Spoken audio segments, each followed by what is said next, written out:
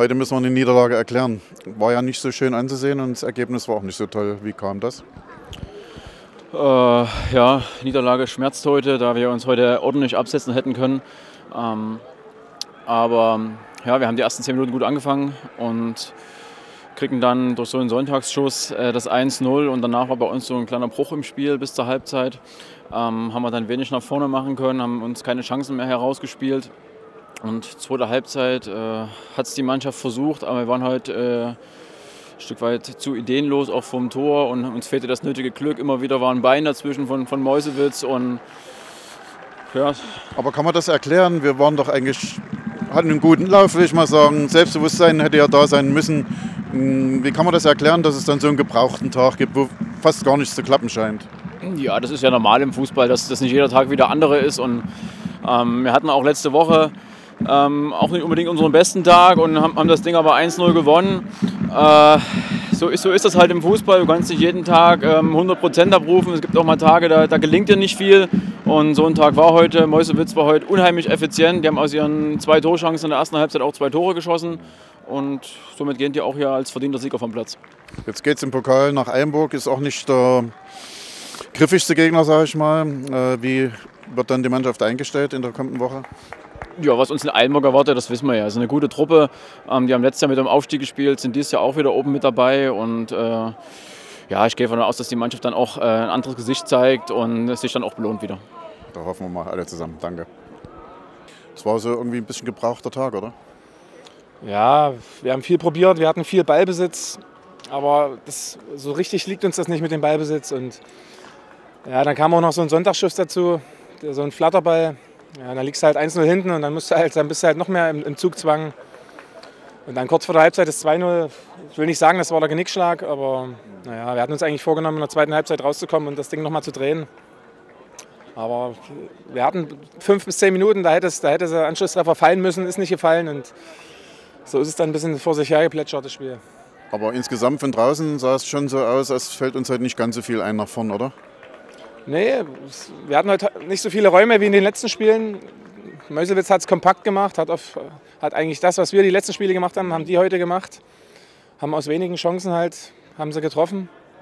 Ja, und dann verlierst du halt. Ähm, jetzt haben wir Eilenburg vor der Brust, das wird auch nicht so der bequemste Gegner. Nee. Wie werdet ihr euch da vorbereiten? Ja, genauso wie vor dem Ligaspiel. Eilenburg ist sehr unbequem, viele quirlige Spieler, spielen guten, guten Fußball. Haben wir ja die letzten Jahre erlebt, ähm, dass da immer heiße Duelle gibt. Aber wir wollen ins Finale. Zumindest möchte ich erstmal eine Runde weiterkommen. Gut, ich auch. Warum sah das heute so extrem anders aus als nicht letzte Woche, aber die Woche zuvor?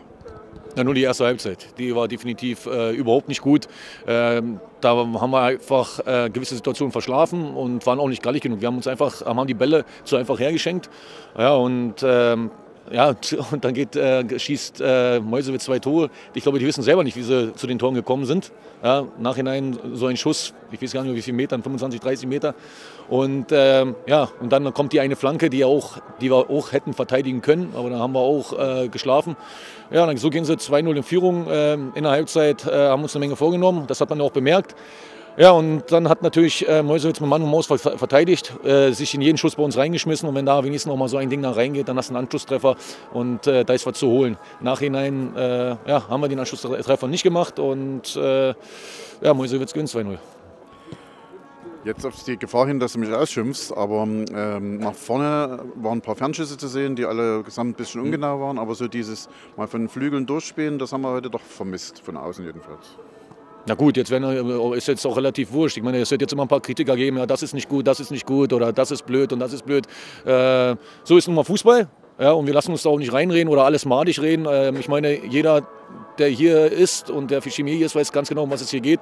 Und äh, dass, es selber, äh, dass es nicht gut war, das wissen wir selber. Ja, da braucht man nicht noch unnötig jetzt noch, äh, keine Ahnung, jetzt, dass jemand sagt, äh, äh, ja, das ist blöd und das war nicht gut. Ja, das wissen wir selber, das werden wir ähm, analysieren, da werden wir auch hart dran arbeiten und es werden auch bessere Spiele kommen.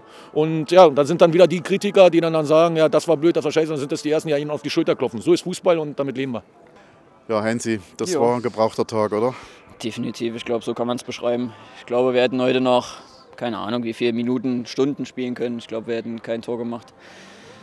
Ja, irgendwie ist uns nicht so das Prickelnde eingefallen nach vorne, warum auch immer. Äh, woran das jetzt lag, ist schwer so kurz nach dem Spiel zu sagen. Mojsevic schießt, glaube ich, zweimal geführt aufs Tor. Mhm. Ähm, ja, und wir rennen an ja, hauen die Bälle nach vorne, wollen den zweiten Ball gewinnen. Ist uns, glaube ich, auch ganz gut gelungen ab und zu. Aber ja, dann wurde halt jeder Schuss dann geblockt. Ja, es sollte halt irgendwie nicht sein. Gibt so Tage. Ähm, nun ist es für einen Außenstehenden immer schwer zu verstehen. Guten Lauf gehabt, gute Resultate gemacht. Da kommt man da eigentlich mit so einer breiten Brust raus und dann ist es da eigentlich nur eine Formsache, für uns jedenfalls als Fans. Dass es nicht so ist, wissen wir. Aber ja. wie kommt so ein Bruch dann zustande, dass man dann so auftritt? Ist der Gegner so stark gewesen? so stark würde ich äh, definitiv nicht sagen. Ich äh, habe sicherlich stärkere Mannschaften schon hier gesehen. Ähm, ja, wie gesagt, wenn man die erste Halbzeit sieht, da hat irgendwie der letzte Biss, die Stimmung gefehlt. Ähm, dann natürlich ein Sonntagsschuss. Ne? Also, pff, kann man mal auch so machen, sage ich mal. Ähm, ja, und dann kommt halt irgendwie das eine zum anderen. Dann sind äh, Bälle versprungen, dann ja, wie gesagt, die Torabschüsse geblockt. Äh, es kommt so eine negative Aktion zu noch zu einer, noch zu einer. Ähm, naja, und da äh, geht die Brust ein Stück nach unten, was natürlich nicht soll, mhm. aber man ist, man ist, halt nur ein Mensch. Ähm, ja, und wenn das halt bei mehreren Spielern dann der Fall ist, äh, dann kommt halt so eine erste Halbzeit zustande, ähm, dass wir wollen oder dass wir wollten. Ähm, hat man, glaube ich, zweite Halbzeit gesehen. Also da, man kann uns eigentlich zweite Halbzeit gar nichts vorwerfen. Ähm, aber wie gesagt, es gibt so Tage, wo man einfach das Tor nicht trifft und das war heute auf jeden Fall so einer. Jetzt geht es nach Eilenburg, das wird ja. auch nicht so ganz bequem. Definitiv wie macht ihr euch da heiß drauf oder fit? Ja, ich glaube, da braucht man sich nicht äh, heiß drauf machen, wenn man sieht, äh, welche oder wer danach wartet. Ne? Ähm, ein vermeintlich kleiner Gegner, aber wir wollen erstmal gegen Einburg bestehen. Einburg war immer unbequem, Jahr für Jahr. Ähm, und deswegen heißt es dort volle Konzentration. Ja, und äh, jeder sollte sich bewusst sein, dass das ein hartes, hartes Stück Arbeit wird.